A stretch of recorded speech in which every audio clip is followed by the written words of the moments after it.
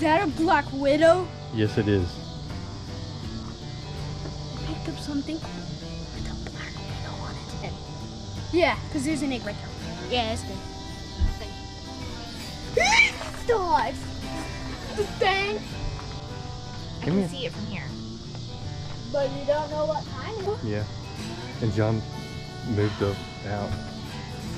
And that's a very big egg sac Yeah. that she's. Uh, It's not focusing. Yeah, back jump. hopefully not. Do you know what kind of spider that is? Yeah. That thing. No, he didn't grab the spider. He Black Widow male. I thought black widows eat. Look, there's the little, it has a little hourglass on it. There.